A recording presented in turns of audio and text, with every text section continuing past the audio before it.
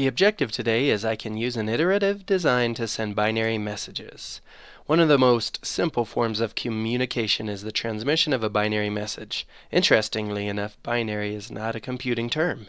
The word binary is used to describe something that can be in one of only two possible states. For example, the question, Do you have a quiz today? is a binary question, as there are only two possible responses yes or no. Think, write, share. What is binary? In fact, any question that can be only answered with a yes or no, or true or false, or something along those lines would be considered a binary question.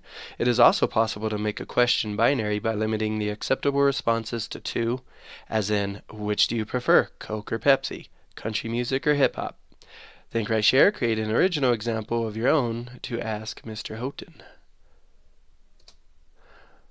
It might be difficult at the outset to think about how much data can be conveyed in data units.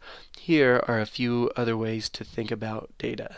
One bit is either yes or no, true or false, on or off. When you have eight bits, you could think of that as a single letter or character. A kilobyte would be a few paragraphs of an essay, and a megabyte would be about 60 seconds of an MP3 file a gigabyte, about 30 minutes of an HD movie, and a terabyte could be the first 16 seasons of one of my favorite shows. Think Write Share. How many bits do your phones have of storage? If you don't have a phone, you can ask a friend and use their number and then answer the question, is this enough storage? Think Write Share. Using just this image, can you figure out how we take a decimal number and turn it into a binary number? This leads you to the Internet Simulator. In order to sign up for an account, go to code.org, sign up with whatever email, and our class code is going to be BNBBCX. Then this link should work for you.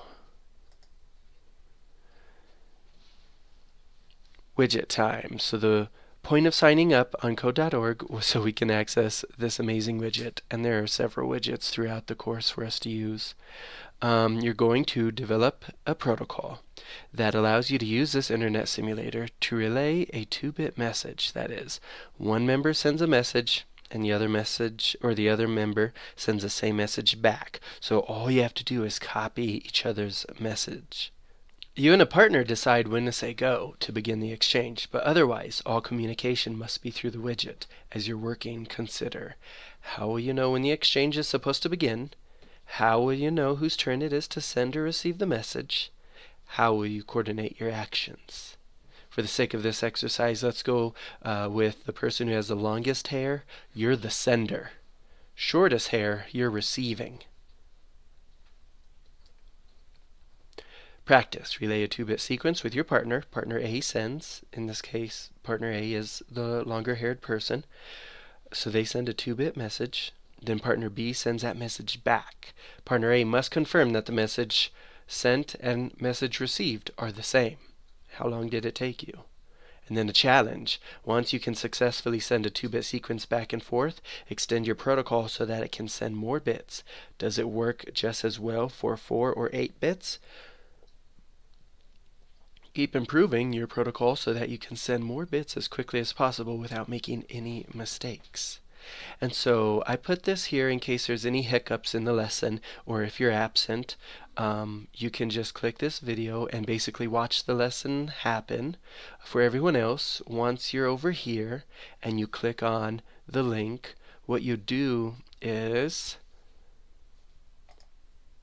come to a page like this. You're going to do a drop down and click third period and then join section. That takes you into the lobby and with whatever your name is the partner can find you and then and then click to join. Once you join it'll look something like this. So I created a fake student here and, and logged in um, Lopaki. So here's um, the receiver and the sender and these are the bits that were sent to read it let's say I'm the long long haired person so I click AAA oh I got follow directions. Two bits only. So AA set wire. Okay and then read wire. Okay it's pretty much how it works. Don't forget to come down here and click my device because down here you'll have a pulse rate that you can adjust accordingly. A bit is a contraction of binary digit. A bit is the single unit of information in a computer, typically representing a 0 or 1. A bit rate, sometimes written bit rate altogether as in one word, uh, the number of bits that are conveyed or processed per unit of time, that is 8 bits a second. Protocol is a set of rules governing the exchange or transmission of data between devices. Bandwidth is the transmission capacity measured by bit rate, and latency is the time it takes for a bit to travel from its sender to its receiver. So your DOL for the day, a binary message consisting of four bits, was sent to you by a friend. The message was supposed to be ABAB. Unfortunately, your friend sent the message at one half the bit rate you agreed upon.